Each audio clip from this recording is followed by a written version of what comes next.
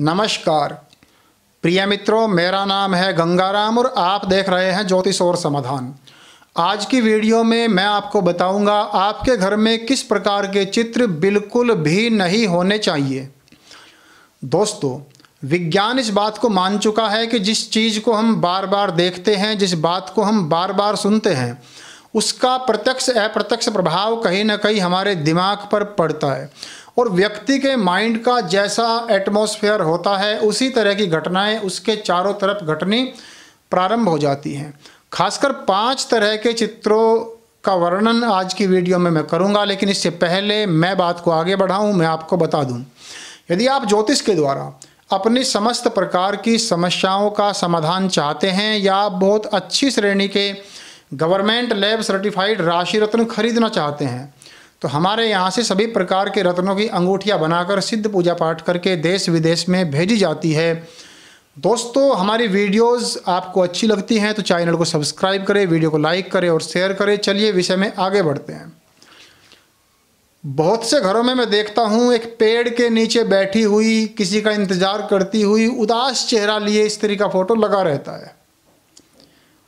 दोस्तों, यह चित्र आपके घर के वातावरण को प्रभावित कर सकता है।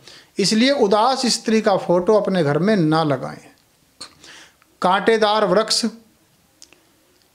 उबड़ खाबड़ ज़मीन में कांटेदार वृक्षों के चित्र भी बिल्कुल व्यक्ति को अपने घर में नहीं लगाने चाहिए। यह भी बेहद अशुभ माना जाता है। दोस्तों, बहुत से लोग खंडहर मकान टूटे फूटे मकान, पुराने किले इनके चित्र भी अपने घर में लगाते हैं। यह भी आपके व्यापार के लिए, पैसों के लिए बेहद गलत माना जाता है। ऐसा करने से आपकी जेब खाली हो सकती है। दोस्तों, बहुत से लोग नग्न बालक का चित्र लगाते हैं। शास्त्र के दृष्टिकोण से और ज्योतिष के दृष्टिकोण से नग्न बालक का चित्र लगाना भी बहुत अच्छा हमारी ज्योतिष में नहीं माना जाता। और बहुत से लोग हिंसक पशुओं के चित्र लगाना भी अपने घर में पसंद करते हैं। शेर है, चीता है, वगैरह वगैरह। इसको बार बार देखने से इसका प्रभाव आपके दिमाग पर पड़ेगा, आपके घर के किसी व्यक्ति की प्रवृत्ति। अगर उसको कैच करती है इंटरनली तो उसकी जो प्रवृत्ति है, वो हिंसक हो सकती है। तो इसलिए हिंसक पशुओं के चित्र भी आप अपने घर में, खासकर अपने बेडरूम में ना लगाएँ। अपने घर में आप देवी देवताओं के चित्र श्री यंत्र लक्ष्मी यंत्र कुबेर यंत्र और मत्स्य और अदरवाइज़ कलश का चित्र लगा सकते हैं जो बेहद शुभ माने जाते हैं।